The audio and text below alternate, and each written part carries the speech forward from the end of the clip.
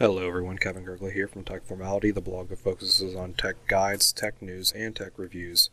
With that being said, today we're going to be taking a look at Kaspersky Security Cloud, the free edition. Um, as you can see here, the program is uh, fully up to date. There are no additional updates, and I just installed it recently, so we will go ahead and get started here with the uh, test here in just a short minute.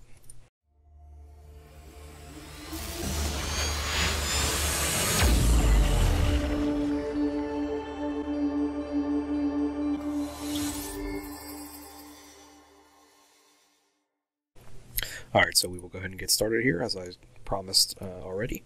We will go ahead and start running these malicious URLs that I have gathered already.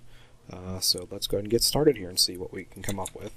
And the application is fully up to date and everything is enabled on it. I have not touched any of the settings, so we'll go ahead and run it as default. Um, as you can see, there is already a pop-up here from Kaspersky. Uh, access is denied, so this one was a block. We'll go ahead and go to the next one here.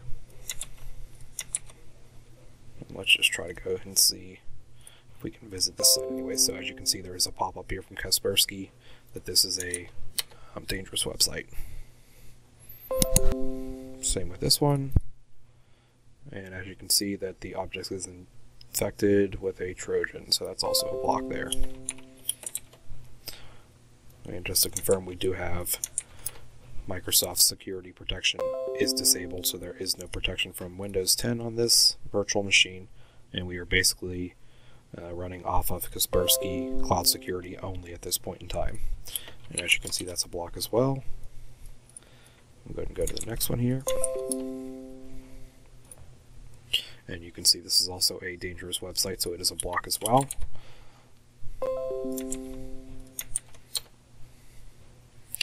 and that is a block as well for that one. Hmm, and all of these that I have received are uh, zero day malware as well, just to note that. Uh, this is the next website here, and actually this one might be dead. It's still loading that one there. You can see that their notification system is a little bit behind there, and it is slowly going up, catching us up with the notifications. So we'll go and mark this as a dead link. Go ahead and move to the next one here. This one is actually downloading something. And it looks like it's a very slow download there. 25 kilobytes per second. We'll go and let that go and go to the next one. This is going to be another download here. And it's going to take just as long. proof of space. This one's running a little faster here. No, that's all off the same server. That's why it's going to take so long. This one's also off the same server. Let's see this one and see if we can't see anything in it. Uh, let's try to open it with Notepad.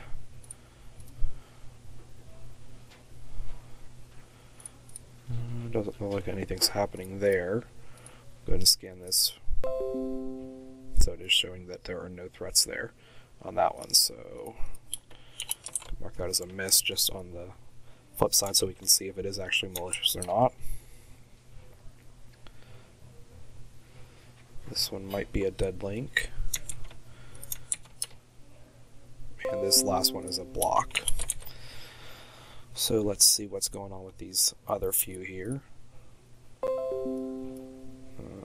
we will see what our downloads look like. So this one has 37 seconds. We'll go ahead and pause real quick and let these download, and I will be back with you here in a second. Alright, so this one did download. Let's go ahead and try running it and see what happens here. And it's not actually going to run. So it might just be that it's actually not going to be doing anything here because it actually was just downloaded as a file without an extension on the end there. Um,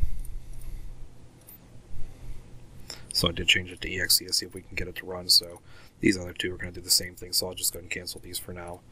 And we will go ahead and upload these to VirusTotal to see what we get for the results. And we will start with this config file. So that one would be a false positive. And let's try this proof of space and see if we can't get anything out of it.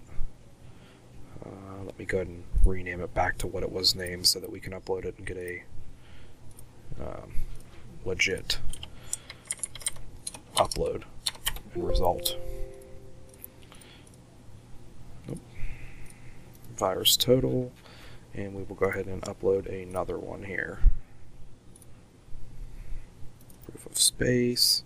So that one's also a false positive. Nothing has come up with that.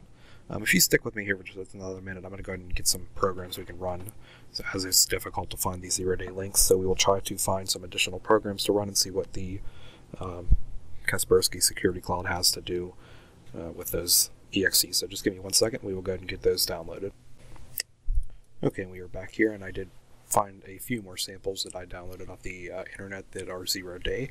Um, these are some samples that I've pulled from numerous sources, so we'll go ahead and run I did just turn, um, let me see here, I just did turn Kaspersky back on and it is up and running. Uh, so we will go ahead and start running these and see what happens here. So that first one actually nothing happened there. So we'll go and run the next one and see what happens. This is some kind of Microsoft Toolkit. As you can see, uh, there's some kind of error here. So as you can see, uh, active malware detected, we recommend you close and running close all running programs and save your work before computer restarts. So we're getting this continuous pop-up. Um, let's see here what's going on. So we'll go ahead and hit uh, disinfect and restart the computer, and we will save this text document here just to make sure it gets saved. Go ahead and disinfect and restart. Let this go ahead and run, and we will be back here in a second to see what happened. Okay, so Windows just booted back up. And uh, as you can see here, there's a Microsoft Windows troubleshooting wizard. Um, so basically it searches for damage caused by malware activity. You can click next and it will scan your system and see what's going on. Um, select damage to fix, perform strongly recommended actions, auto run from hard drives is enabled, auto run from network drives is enabled, auto run from removable drives is enabled. So we'll click next and it's asking us again to reboot the computer so we'll go ahead and do that.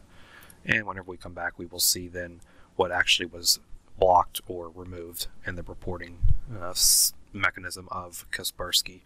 Uh, so whenever this comes back up, we'll get right back into that. And additionally, we'll run the remainder of those malwares that were uh, on the computer there. And we're actually coming up now, so I won't even bother to pause. Um, so we'll give it here just a second and we'll go and let Kaspersky load back up. And as you can see, the application is loading back up here.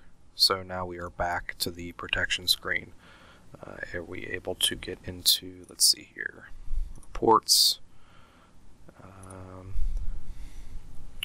so this was the sample, not processed, malicious object detected. Uh, that's ransomware. So it was trying to go and run ransomware, so that was a block there. So that's good that it actually blocked us from that. We will see uh, what happens here within the reporting of the um, remainder of the documents that we have to run. So back to, uh, we were in New York. Okay, here we go, New Year generator. So we'll go back to this one, run this as administrator. As you can see, that one does not run. We'll go to the next one here. That one also does not run. Test.exe does not run. And this last one does not run either, so I'm assuming these are all, yes, as you can see, they're all gone. So if we go ahead and look into um, more tools here, back into reports, we should see that all of these items it's popping up the alerts now. As I said, their their notification system is a bit delayed, but as you can see, these are all the examples that we just ran through. I'm not sure what this internet shortcut is. Some kind of IP logger, um, whatever it is, trying to run. Didn't actually do anything, but it could have been a remnants of one of those applications that we ran through. So now what we're going to do at this point in time is go back to Kaspersky and start a scan. We will run a full system scan and we will go ahead and let this run through and see what happens. And then additionally we will run Malwarebytes and Hitman Pro to see what it comes up with. And then we'll be able to calculate all the items that were detected and go from there and see what happens. So stick with me here and we'll be right back. Okay so we are back in the Kaspersky Security Cloud free scan has finished the full scan and it shows one object was deleted uh, so now if we go in here these are all of the items uh, that were actually processed. Um, or this is actually our quarantine box, so this is the latest one that was deleted, and it was this uh, test.bin, which was in our downloads folder, so that one was automatically deleted. So it did remove one item, so we're going to go ahead and start the scan here with um, Malwarebytes, and then we're going to go ahead and install Hitman Pro and run that scan as well so we can see what's going on. And hopefully we have no detections and we will see you back here in just a minute to go over the results and the final scan um, results as well. So just stick with me for a minute and we'll be right back. Okay and we are back with the final results from malwarebytes and hitman pro. And as you can see malwarebytes has found no items so this is a good detection rate for uh, security cloud from kaspersky and as you can see as well hitman pro found nothing this combo fix is a uh, false positive as it is a malware tool that is used to um, clean up malware processes. So that is also a false positive. There are some tracking cookies, which are no big deal. Uh, so we will go and close this. And our final results are as follows. So as you can see here, there were 10 valid URLs that we tested. Two of those were false positive. Uh, two of those, the downloads were canceled because they were taking a long amount of time to download. Uh, so with that being said, six um, of those URLs were blocked, so it was pretty much six for six, um, as those two were false positive and those two were canceled. So we did have six valid URLs that we were tested with. So this would be six out of six, and that would provide a 100% block rate for um, blocked URLs.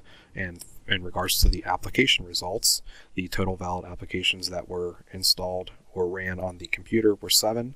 EXEs, uh, total blocked applications were six. The um, file shield did let through one item but did recover. So after it did let it through, it actually did the disinfection and restarted the computer, scanned the um, operating system files, and confirmed everything was working properly. Um, so with that being said, that is a 100% block rate as well for um, this will be 100% block rate for the application results. So overall, we know that um, seeing how well Kaspersky Cloud Security performed, it is a very good application, especially on the free side. Now, if you did want to go ahead and upgrade, you can get a few more features with it, um, such as the PC cleaner, safe money. If you hit on more tools here, you can see that there are, or correct me, uh, this this settings button here. Uh, you would get the firewall, you would get application control, software updater, and a banner, um, and a spam application manager, webcam protection, private browsing, and safe money. So you would get all these additional features if you did want to upgrade. I'm not really sure of the price. Um, let's see, for personal use, we can just go and pull this up really quick just to see. Um, but in my personal opinion, the free edition works just fine. Um, I don't see any need to upgrade unless you wanted to have a firewall with it as well. So you can see here, three devices for one year is $53.99. Um, not sure if you can just change this to one device. Um, but anyways, this was the free edition that we did test, so it did perform really well. And uh, with that being said, I would give Kaspersky Security Cloud 100% as there are no uh, missed items other than that one application that was blocked. But as I said, it remediated and corrected itself. So with that being said, this was another video brought to you by Kevin Gergely from the Tech Formality blog that focuses on tech news, tech guides, and tech reviews. And with that being said, hope you all have a good one, and we will see you guys in the next video. Thank you.